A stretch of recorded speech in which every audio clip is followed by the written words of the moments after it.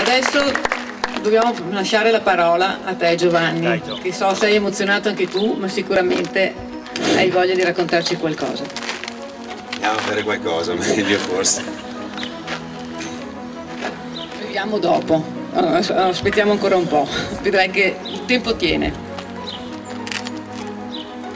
Sono son fortunato avere un- amici così e una moglie così. Grazie. Cosa, mi racconto? Eh? Eh, penso siano, insomma, mettiti dal posto mio. Sono in uno spazio straordinario. Sono stato invitato da, da, da- da- Luisa, dalle sorelle, da Luisa in particolare, che si è instaurato un rapporto molto bello di amicizia. Eh, so- il mio collega, collega di, di- di- di- merende, Andrea, vi ha raccontato un po', eh, è stato per fortuna frenato perché certe cose non dovete saperle, Eh, ma, è, ma è un maestro di vita. eh, da Marrakesh al sud della, del- della Francia stiamo cercando di farsi largo. Sapete che non è un periodo straordinario questo nel lavoro, nel mondo del lavoro. Però forse dà l'opportunità, anche, anche questa, quelle che chiamano crisi, dà l'opp- l'opportunità di riuscire a, a trovare spazi nuovi, a, a inventarsi qualcosa di nuovo. E con Andrea che sa fare secondo me commerciale molto, molto bene e, e al di là di un aspetto economico eh, sa secondo me valorizzare a parole molto bene quello, quello che lui sente prima di tutto, che è la cosa fondamentale, perché, eh, perché l'arte mm, s- condivido, è emozione, non ha senso, adesso eh, sempre di più diventa investimento economico, ma l'arte nasce come emozione, deve piacere. Uno, uno- una persona decide di comprare un oggetto che, fra virgolette, non serve a niente se non al proprio spirito. eh, de- de- ci sarà un motivo perché uno compra una scultura, compra un quadro, compra un CD. Una seduta, questo è un cubo, ci si siede, si sta bene. Ma una scultura non serve, non si indossa, non si- un quadro non lo puoi. Quindi, quindi- quindi pensate alla bellezza per un artista, per uno che, che fa il mio lavoro, vendere una cosa che fra virgolette non serve a niente, però fa star bene una persona. È una cosa. È una cosa incredibile, no? che costi 10 euro, che costi 1000 euro, 10 euro, 10.000 euro, è la, è la stessa cosa. Eh, non so, io mi sono emozionato perché non sapevo di essere così bravo.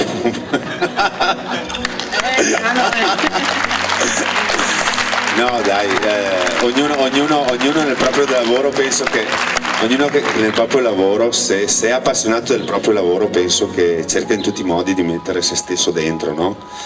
Eh, occupiamo almeno un terzo della vita a lavorare, quindi almeno proviamo a metterci qualcosa. Ehm, avete qualche curiosità? Mi piacerebbe rispondervi, mi piacerebbe- forse diventa più stimolante perché loro hanno raccontato delle cose che io anche non sapevo, quindi volentieri. Avete qualche curiosità? Se io continuo vi stufo proprio, spero, speriamo piova così andiamo dentro. Eccolo là.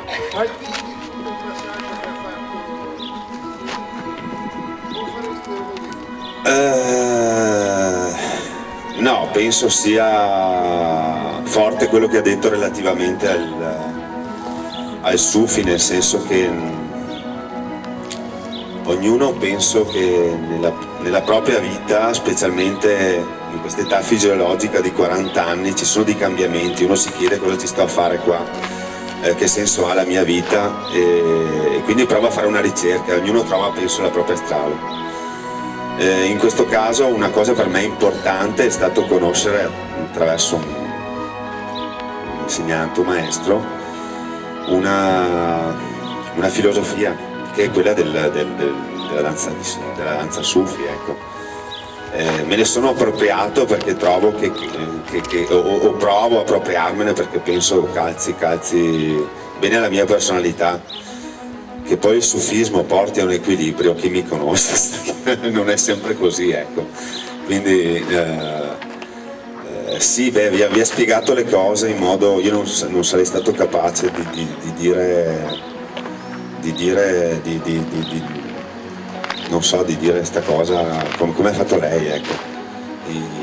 Mi sono cari, è chiaro, gli aquiloni volano, sono di ferro, volano, mi mi è cara quella figura là che vi ha spiegato perché siamo stati anche in crisi. Eh, la barchetta di Laila, la dorata, così, poi dentro trovate altre cose, vedrete altre cose eh, che sono in mezzo a queste cose qui, a queste sculture che ho fatto e. Altro? Grazie. La tua prossima opera? Ce la racconti? Eh, So che non ti piace parlarne, ma mi hanno detto che c'hai qualcosa per la testa da un po' di tempo. ce ne sono tante cose sulla testa perché eh, riuscire a, tra- a trasferire un'emozione eh, che io ne ho continuamente, eh, ho la fortuna di, di- di vedere anche attraverso questo lavoro, di conoscere delle belle persone interessanti, belle persone, interessanti, piuttosto che delle culture diverse, degli spazi diversi. E sarebbe per me sempre stimolante trasferire in tridimensionale un'emozione che provo. Non sempre puoi, non sempre c'è tempo. E stiamo lavorando attraverso, stiamo lavo- lavorando su alcuni progetti, sì. Quello sì. Poi per scaramanzia non si dice. eh, ferro. Non è anche facile. Ancora, ancora progetti che riguardano il. Beh, c'è, una figura che, che è da due anni, due o tre anni che ci sto pensando e che non è venuta fuori lì che aspetta e uscirà prima o dopo. Uscirà. Ho fatto un concorso, questo progetto qua poco tempo fa me l'hanno bocciato, peggio per loro. verrà fuori al momento giusto. Sì, quando sarà ora verrà fuori. L'esposizione delle opere eh, rimarrà anche fino a tutto sabato, che c'è un weekend in cantina promosso dalla strada del Prosecco, per cui se volete tornare a, a vederle, ammirarle, se volete mandare i vostri amici, sapete che potete farlo. L'emozione che ci ha dato Giovanni Non ho finito. No, lo so che non hai finito, ma è grandissima. Anche lui non ha ancora Aspettando la pioggia. No, se sapete, no, no, una cosa, veramente grazie che siete venuti, chi conosco, chi non conosco. E... Cazzarole, eh, non è facile, è bello, bellissimo, bellissimo, bellissimo. Io posso dire una cosa? No, no, no, no, no. Adesso sono sicura che non piove più e quindi... Eh, a me sta a cuore, come vi dicevo prima, il Sufi, però ci sono altre due sculture che mi stanno tanto a cuore. E sono quelle due scarpine che avete visto dentro. E sono le scarpine di Carlotta. E volevo ringraziare Giovanni davanti a tutti, ma volevo veramente ringraziarlo di cuore perché quelle scarpine sono tornate a volare e a danzare. Grazie Gio.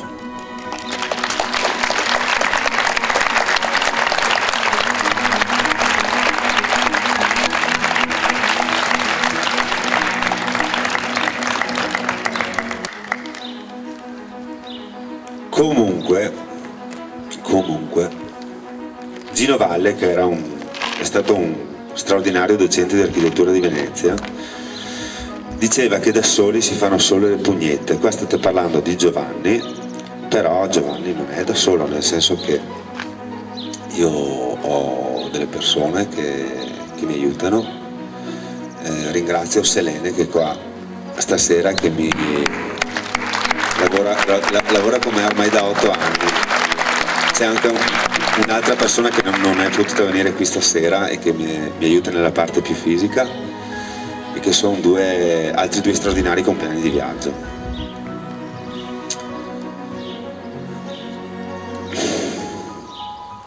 Beh, le scarpine di Carlotta sono state una bella fatica comunque. Una bella fatica riuscire a rimettere sulle scarpe a quella ragazza che è stata musa oltre che modella e che adesso è ritornata a danzare perché per un periodo non, non poteva danzare. Ma quel caso eh, non lo so, ci sono eh, alcuni galleristi o critici d'arte che mi hanno detto che non sono abbastanza artista perché eh, l'artista si vede, no? ha, ha, uno stile. Io credo che ogni, per quanto mi riguarda, avranno ragione, non lo so, però non riesco, io per quanto mi riguarda, ogni, ogni, ogni tema che, che, provo ad analizzare, che provo a studiare, è l'opportunità per eh, studiare una tecnica nuova di lavoro. E queste tecniche a volte comporta, questa tecnica comporta il fatto che magari in alcuni casi riesco a fare più sintesi, in alcuni casi sono ancora forse molto accademico, cioè forse oh, abbiamo bisogno di metterci alla prova quanto riusciamo a arrivare al vero. In quel caso, anche se nella, nella, nella scultura contemporanea la, la, sintesi è fondamentale, io sono contento di aver fatto quella, quella scarpina che poi vedete dentro, sono due posture, hanno anche due nomi che non mi lo ricorderò mai e che, e che sono molto figurative, sono un 38 usato. Ecco, faccio qualche cenerentola che lo vuole provare. Ma c'è il principe che poi lo raccoglie? Qualche altra curiosità? Quanti gradi fa il prosecco? Eh, l'emozione che ci avete dato questa sera è veramente tanta, l'emozione che le opere di Giovanni trasmettono è, sono, è bellissima. Io, se voi volete, possiamo concludere questa serata, passare all'altro protagonista di questa serata che è il Prosecco Superiore. Io vi ricordo anche che il progetto di Dream potete seguirlo poi su Facebook, lo, comunicheremo nella nostra pagina, in quella di Giovanni. Io spero che vi siete, siate emozionati anche voi questa sera. Vi ringrazio tutti di essere venuti, ringrazio Giovanni, ringrazio Cristina, ringrazio Andrea, ringrazio tutti quelli che ci hanno dato una mano a organizzare questa serata. Vi saluto e vi auguro un buon brindisi e buone chiacchierate con l'artista.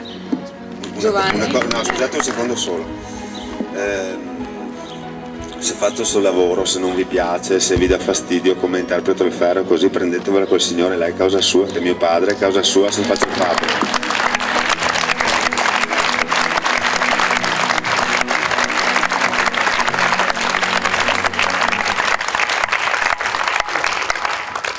Adesso si vede che è in pensione.